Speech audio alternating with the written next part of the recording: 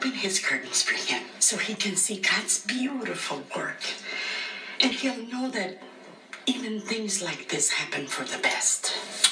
Where do they teach you to talk like this? In some Panama City sailor want a hump hump bar? Sell crazy someplace else. We're all stocked up here.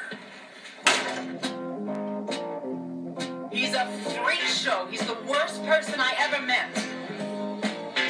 Dr. Green, how can you diagnose someone as an obsessive compulsive disorder and then act as though I had some choice about barging in? He's unneighborly. Have you have you uh, have you seen my dog with a little little face? Love that dog. Ungracious. You have no idea what your work means to me. How do you write women so well? I think of a man, and I take away reason and accountability. And antisocial. Melvin,